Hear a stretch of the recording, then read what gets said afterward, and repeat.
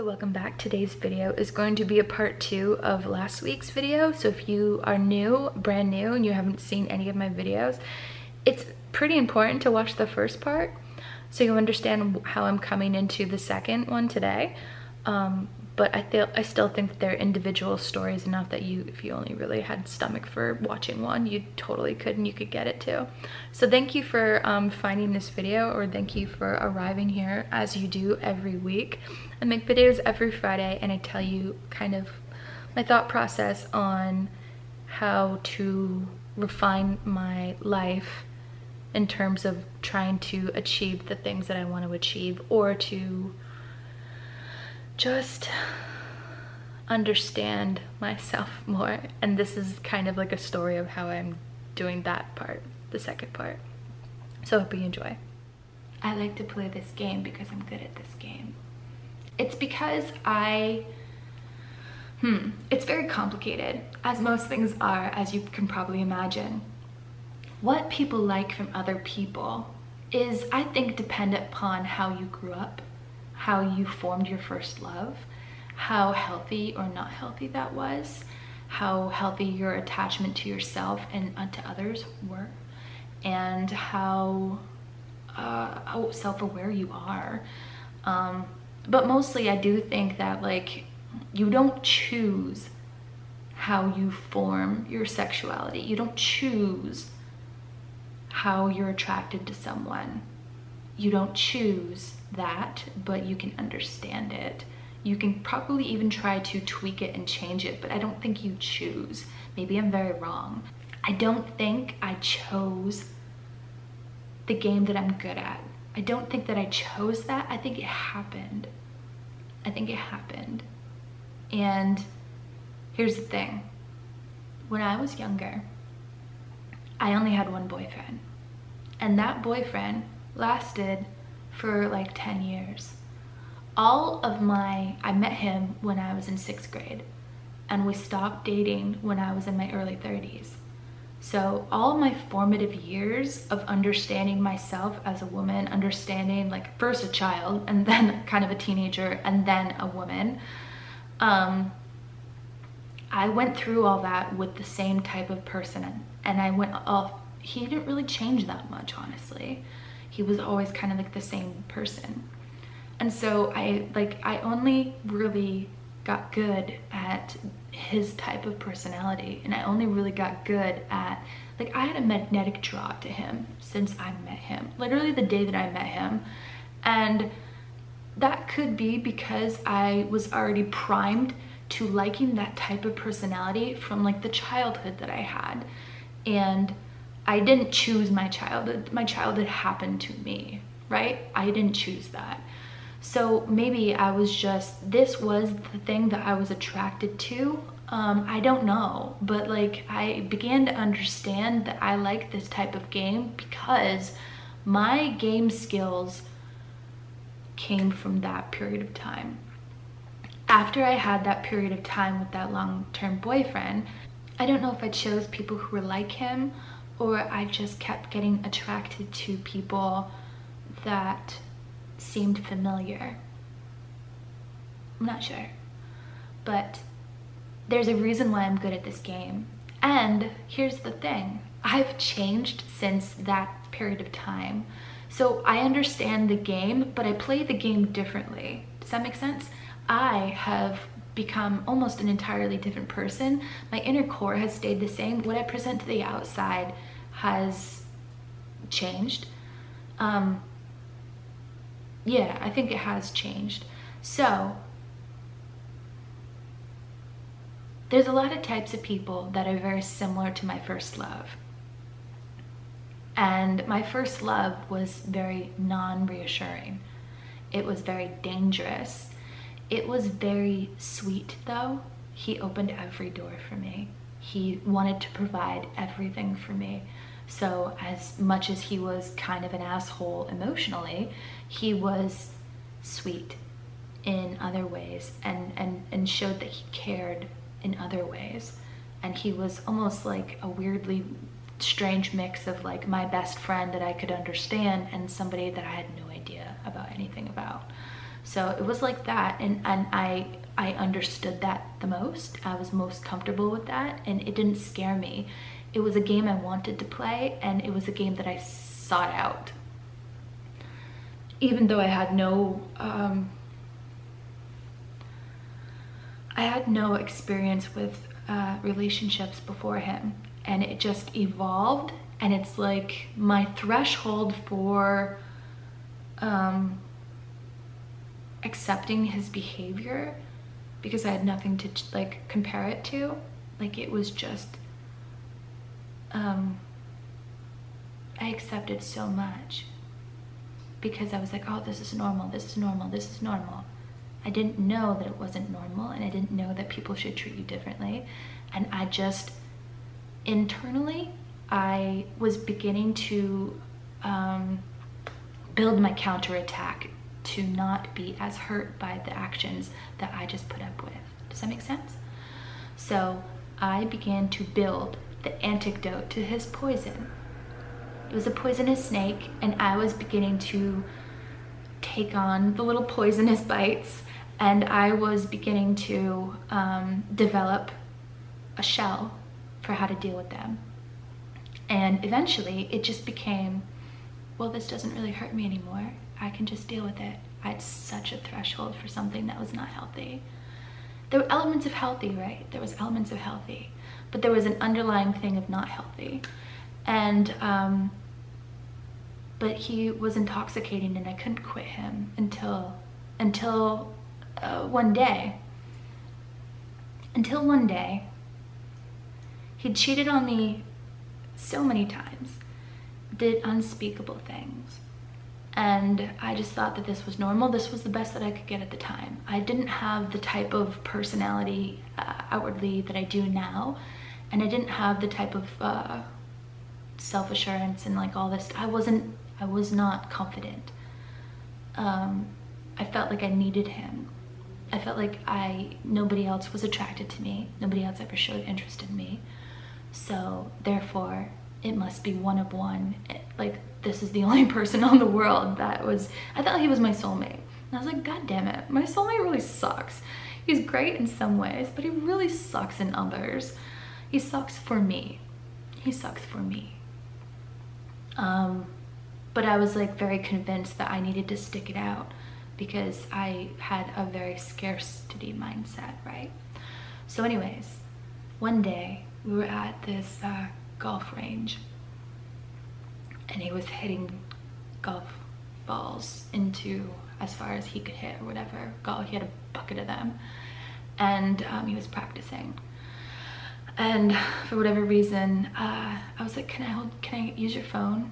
Um, this was around the time where, you know, there was first internet on phones. We had little flip phones. And uh, I saw a, a message pop up that said like something to the effects of like, I always think of you when you're not here or something like that. And um, I, I knew instantly that that was from a girl that he'd been fucking for a long time or whatever. And um, I wasn't supposed to see it, but I did see it. And this was not the first time that I'd kind of caught him, but it was the first time that the lies were um, the eventual explanation that he would give me rang a bell in my brain that this this is completely done. Okay, so what, what, what used to happen was I would catch him doing things and he would tell me an explanation. He would blame the girl. Oh, the girl is so obsessed with me. I couldn't help it. Oh, the girl is just crazy. She like, she's taking things out of context. We're just friends blah blah blah so like whatever she says to me that's from her own part i don't feel any of that towards her right we're not together or whatever i would just believe him because i was again thinking i was one of one person this was my person that had to make it work i was going to suffer through whatever was going to happen i didn't know that you could just quit the suffering for my instinctual process i just got good at it i just got good at that suffering and i um, just got good at being bit by the poisonous snake. So, and I didn't die. I just kind of dealt with it. I guess barely alive, but I dealt with it. So I saw that and I remembered every single time that he would kind of tell me some sort of lie. And I would file that away in my little tomb of behaviors and I would wait for a report to happen, a report, a self-report. And I would think about how believable certain things were. What is my fault? What is his fault? Most of the time, as I said, my pattern was to blame myself. And so it was therefore never his fault. It was always my fault. So if it was my fault, I could control some part of it. But if it was his, his fault, then I had to do something different. And I usually wasn't ready to do something different. So, um, sorry, I'm like cracking my ankles. So I read it and he came back and he saw that there was something uh, that had happened. And immediately I was like, what the hell? Not this again. Um, because our, our relationship like lasted for over 10 years and about 10 years and a, a lot of this had happened um, the things that I knew and the things that I didn't know, right? But the things that I knew usually happened about once a year, sometimes more frequently, sometimes less. But anyways, there was a lot of different years to choose from. And I just remembered the filing away of all of the different excuses that would come up when certain things that were clearly inappropriate would happen. This would happen. And I'd heard this excuse before. And suddenly everything became very black and white so he immediately resorted to blaming the girl. He's like, oh, she's just obsessed with me. I'd heard that probably about two years ago. Oh, she's just obsessed with me. And immediately my spell of him was broken. I don't know why it took that time and that repeated lie and that, I don't know why, but it just broke my spell. Broke my spell of it and it was never the same after. Um, I didn't care that I didn't know what to do with myself without him. I didn't care that all I knew was him. And I didn't care that I was going to be alone at this point. I just knew that I was entering into you can't undo this territory. So after that point, my brain was just like, the spell is gone. There is no draw for him. And there, all of your lies of you're going to continue this for the rest of your life and just accept this, the, that, that web of reality was, it, it diminished that day based upon he had told me the same type of lie and suddenly I realized it was him and not them. Does that make sense? It was him and not them. I'm sure it was a little bit of them, but it was him. He was the consistent liar. And I was like, wow. I was so naive, but I was collecting data. I was so naive. And so from there, I have this thing where like I have a high, high tolerance for crap because I've been, I only started out with the highest version of the unhealthy. Somebody did not treat me healthy for a very long, very long time. And it was during my formative years and it was before I really found myself. And so like part of me still likes that type of personality. Part of me finds that very fun, but I also understand when it's not fun so this is a very long way of saying that that person that day that talked to me that came back the revolving door person that came back he was just like this person in a very long relationship. I had a draw to him a magnetic draw to him. He played the game like i love to play. It was a dangerous game that most people don't want to play and it's because they can't handle the fallout. They don't want to handle the fallout. They know immediately that this is dangerous. But to me I'm like, well, this is very familiar. I understand the rules of this. This is not dangerous at all. The only danger that could happen was, you know, other factors other than emotional. I could handle this emotional game because I've already played at higher stakes than this person could ever bring it to. And I'm grown. I have over time basically worked into my personality and and how I deal with things, how I present myself to people, how like my own wit and how I talk to myself. I don't talk to myself, but you know what I mean, how I interact with my own things. Um I have basically grown to be the anecdote of this dangerous snake. But for whatever reason, because it's embedded so deep in me, I like this type of person. I find them fascinating. I find them sexy as hell. I find them intoxicating. I find it also not sustainable. Doesn't stop me, but I find it not sustainable. I can't say that with my Invisalign, I'm sorry. I find it not sustainable, but it's good to have little capsule moments of excitement in my life. Boring people that, I'm not looking for troubled people, by the way. I'm not looking for a sad boy to fix. I'm not looking for a person to turn around and kind of help uh, out of a bad spot. I'm not a fixer. I am a person who like I want somebody to be on the top of their intellectual game and to have this like as I've said before a cat and mouse thing. That's why.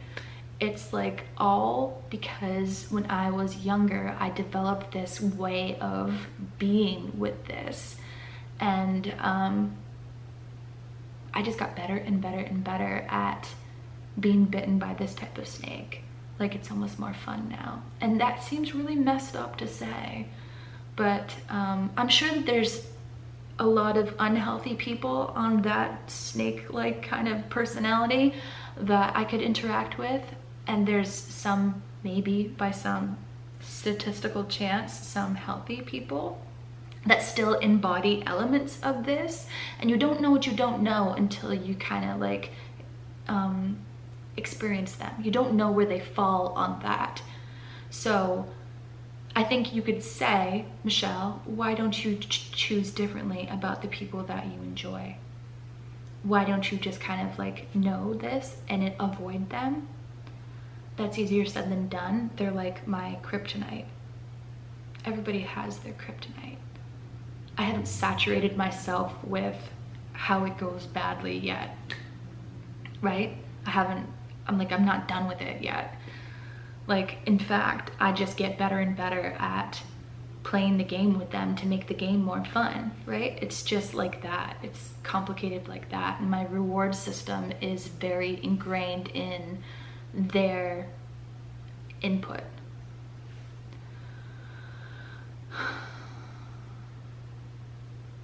Which is not wonderful, but it's also, I don't know if I want to change it even if I could change it. I don't think I can currently, and I don't know if I want to. So we're at we're at the part where like I'm aware that this happens. I'm not I'm not at the part where like I've completely done a 180 and I'm like I'm gonna go for good guys that don't play games. That's a lie, and I'm not here to lie. I'm just here to explain this from a perspective of somebody who's understanding their own patterns of things. So anyways,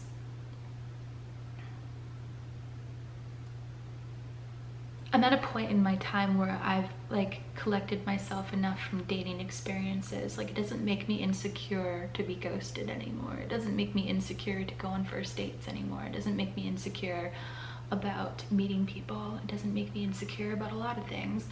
And so I also don't get very excited about people because they just show me um, kind of a person that I don't think is fun to interact with and I'm not sure why. I do try to dig. I try to dig to see if there's elements of fun, even if it's hidden behind a perfectly normal person. again, I'm not looking for um, a project. I'm looking for a potential excitement. So, what I find is exciting is usually not exciting to other people. It's just not. And so I think what usually is exciting back for these types of people that I find exciting is that I'm kind of a sophisticated version of the person that likes them. Um, and so that's kind of intoxicating in its own right. Um, so when you combine me and them, I'm almost at my top of my game kind of dealing with the snake people, right? Which seems messed up to say, but that's just kind of facts. Like I, I understand their mindset. I understand I can predict outcomes and I understand their motives and I understand how to um, manipulate that if I want to. I understand how to play them back right? So I don't understand, as I've said before, I don't understand passive aggressive men and I don't, like I, that doesn't appeal to me and I don't understand um, super feminine men and I don't understand, um, not that I don't understand, it's that I don't choose to interact with that because it doesn't make me excited for some reason. Um, anything that's like too timid is not my favorite anything that's like um, lacks masculine follow through is really not my favorite. It's like a turn off and I'm not sure why. I think there are probably lots of great matches in the world, Brittany, that um, exhibit those behaviors. But for whatever reason, I am attracted outwardly to like I seek um, these other ones. So why do I line that all up for you? Because something kind of sort of incredible happened from the comeback kid. So that day that I was like super down in the dumps before I was getting to my gray area, I was very black and white and blamed myself. I was like, oh, I must be ugly, or oh, he didn't like my sex, or oh, blah, blah, blah. I was feeling badly about the rejection of the, the sweet, pretty boy that had problems. And um, that day, the comeback kid came back with a vengeance and wanted to um, start our game back up, the game that I love to play. And I was like, fucking game on. Yes, this is exactly what I need to get my groove back. It was like, hi little snake, I've been waiting for you. right? Um, so it was like that. And um, it was, it was like, this time is different. This time is going to be more honest the game was going to elevate because because I because I had understood a little bit more about his pattern and I was going to tell him that I understood more about his pattern and therefore the game would change because it didn't work anymore. The cloak of of um, I don't know, I feel like the, the, the snake always has like a way to explain himself very vaguely and like you don't know what's going to actually happen. You can predict the outcome, but the snake always has this kind of like, mm, I'm into you and then I'm going to pull back. I'm into you, but then I'm not going to explain anything. There's no reassurance. There's no anything. There's no experience to see what he usually does until you had enough experience to see what he usually does. So I'd had experience seeing what he usually does and I learned that he lives in his head a lot. And I learned that he kind of pusses out a lot. And I learned that um, he liked the, the buildup a lot. And um, that didn't always equal follow through. And that didn't always equal what his actions were in person. But in his head, how he presented himself to me was like the best version of him, right? But I was like, mm, I've seen you in person. It's not the same. There's a disconnect between those two people. And um, let's just kind of let's just kind of add truth that I understand what game you're playing and I'm playing it back to you, but I'm throwing it back to you at a different level so that maybe you can level up too. Like maybe you can understand that I'm pretty good at this game. And because I've introduced truth and because I still don't care that you did what you did, I'm going to give you what you desire. And I'm going to see how you deal with that. So, we had a date lined up wasn't a date we had a um a meeting we'll call it that a meeting lined up based on his idea and then he pulled the oldest move that he always pulls and he's like oh i you know miscalculated things and like i can't actually see you he gave me some stupid excuse and in that moment it was just exactly like the moment that I had experienced at the golf course. In that moment, the spell of him was broken. I'd seen this excuse before. I had swallowed it hook, line, and sinker before I had any experience with um, deciding if that was a him thing or like a an external world thing. And I gave him the benefit of the doubt because I think that you should do that most times, but sometimes you should be a little skeptical. And your skepticism should be based in reality. And, you know, shouldn't always just assume that people are going to screw you over and you shouldn't always just assume that people have the worst intentions, but sometimes they really do. And anyways, he canceled on me, he wasted my time, and this was par for the course with him. And this was, he gave me an excuse that he had given me before, but months earlier, but I'd already filed that away. And it came back and it was like ding, ding, ding. It's like the spell is broken now. You were my best match as far as like playing this game that I love to play.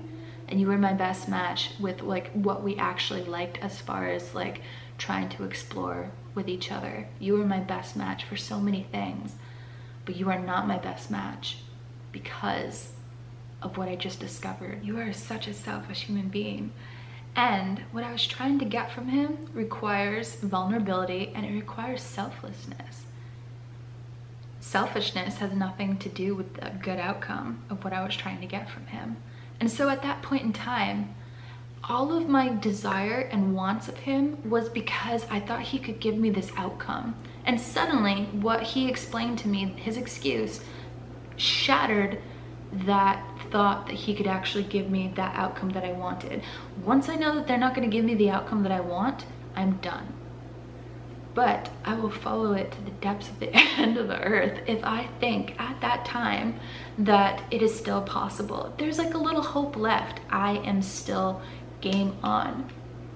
Once I see for a fact and have gathered my evidence in my own way of what I can and will not tolerate, I will not tolerate playing a game with a shitty outcome. That is unjustifiable for me. The danger, even if I know how to play, the danger is not worth that. So it's only worth it for the best outcome possible. And so, once he explained to me this really low, emotionally intelligent explanation. And then he bantered back with me in an even stupider way.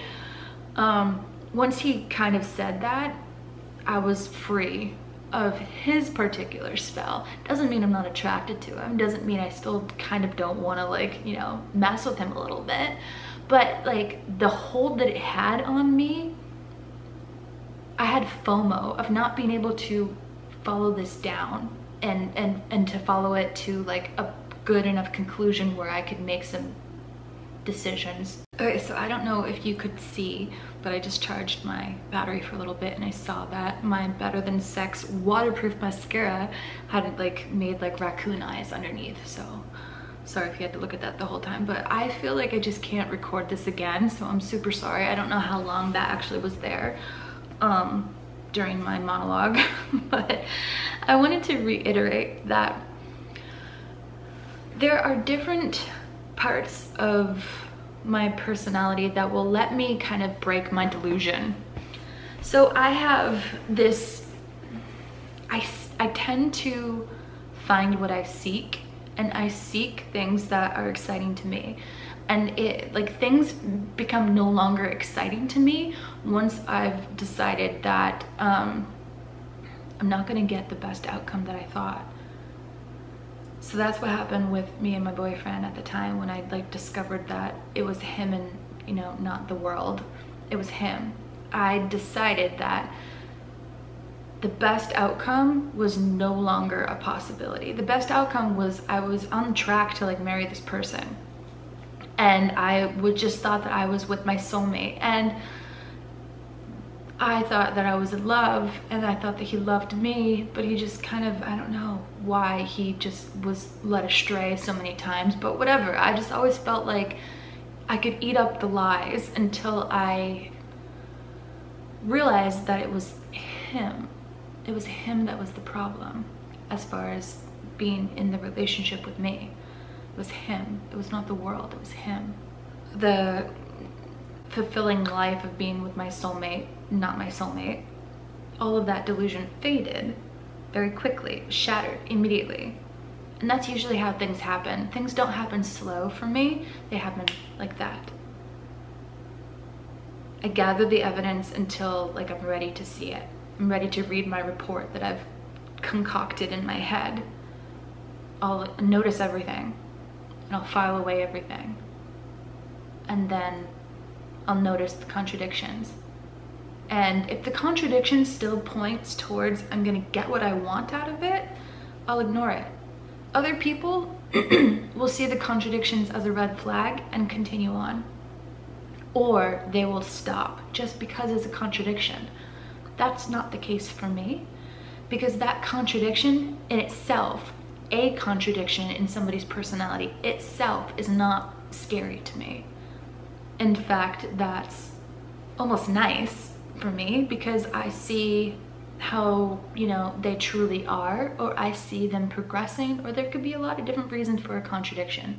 A contradiction to me is not inherently a red flag, but when it's a contradiction that is explaining why someone would be cheating uh, or explaining away something stupid and the contradiction is is is there that's something that's like even i shatters my dream it shatters my delusion it shatters my idea of the possibility i don't even want to follow the possibility down anymore because I, have collected enough evidence that says i'm not de defiantly i'm not going to get what i want from this person that's what happened with me yesterday actually he gave me an excuse but he'd already given me that excuse.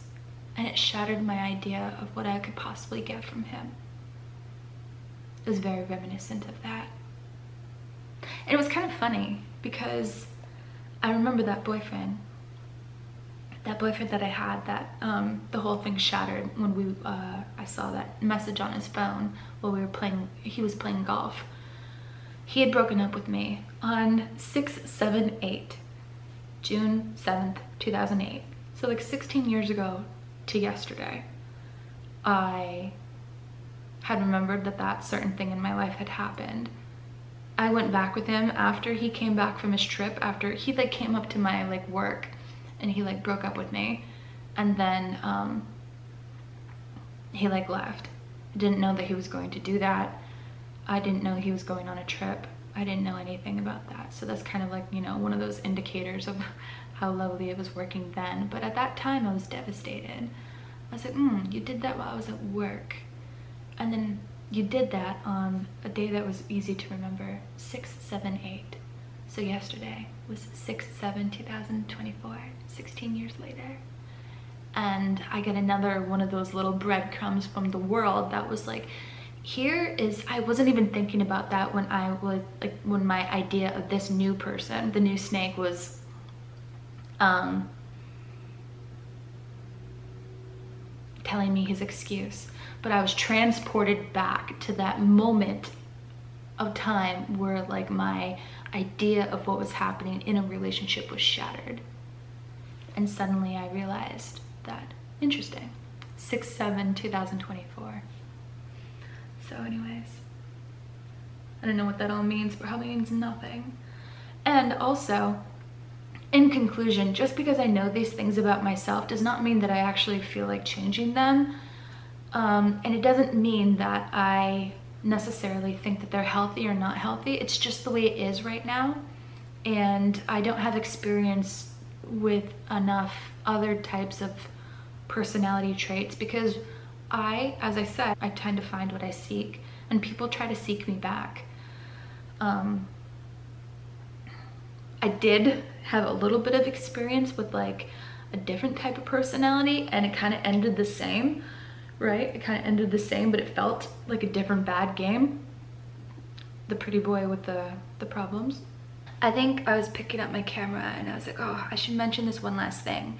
I do have the ability to take enjoyment and um, satisfaction from a small interaction. It doesn't always have to be the longest term, most committed thing for me to make uh, a positive experience from it. So what I'm trying to say is the date with the the the wolf in sheep's clothing boy was enjoyable until it wasn't but I still gained satisfaction from going on that and like going on the date. Um, the process of playing the game with this person that was playing at a high level, that was fucking enjoyable for me. And I'm able to kind of take away good parts about that. And so I live in terms of I'm hoping for more of a, a long-term meaningful thing, but during this time, like my reward system still rewards me for these things that don't always have a positive outcome at the end end, but like I enjoy the process during it. So it's, it's like that for me. It's not only enjoyable if it works out forever. It's not like that. And I don't know if that's different from you but that's how it is for me. So I thought that I should mention that as an additive, like it's still enjoyable. So that's kind of explaining how I could still want to do it like how I want to do it. It does produce some sort of thing that I do like. So in conclusion, does this mean that I'm gonna change my entire strategy? Well, probably not. I like what I like and I can't unlike that overnight. Just like my idea of people can shatter, but I still have this delusional hope that I will find the type of person that likes to play back with me and has the type, the type of personality that I like because that is embedded. What is not embedded is like the wanting to continue with the same person. I do have a stop loss and it's built in as I said, I've like developed the antidote for this type of personality. And um, I do think that I'm attracted to that for ways that I can't even under, like understand or explain and things that I've explained to you. So easier said than done being like, well, just go for a good guy or well, just go for somebody who treats you like a best friend or like go, go for somebody safe. That doesn't seem safe to me. That seems like I don't know how to play that game and um, maybe I don't want to play. Maybe it's boring.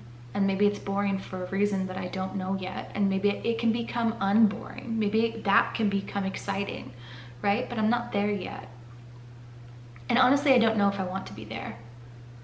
Um, so that's why I say my stuff that I say to you is not advice.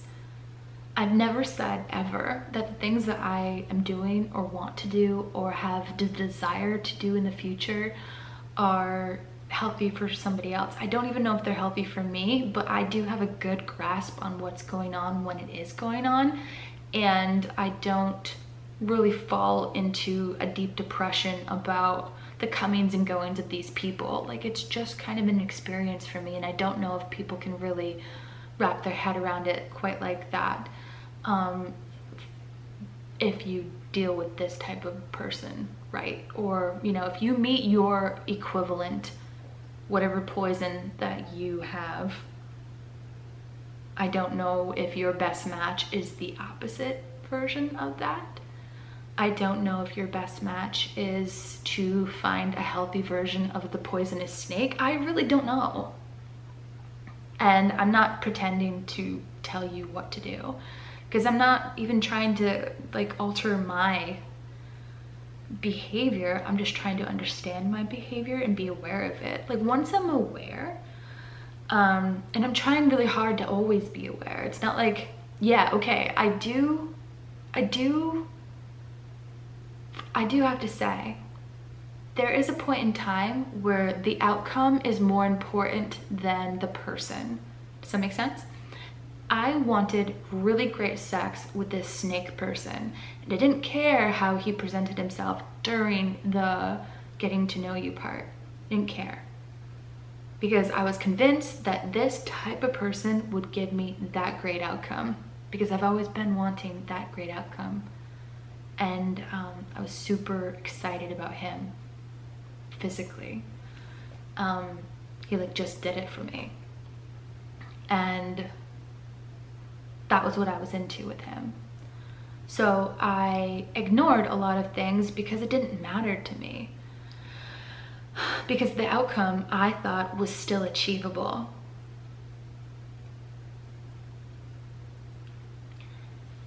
When I'm ready to break the delusion, I will use the tools that I have gathered to the antidote, basically, and I will push back I used to not do that. I used to let my boyfriend kind of like tell me all these lies and then never challenge him.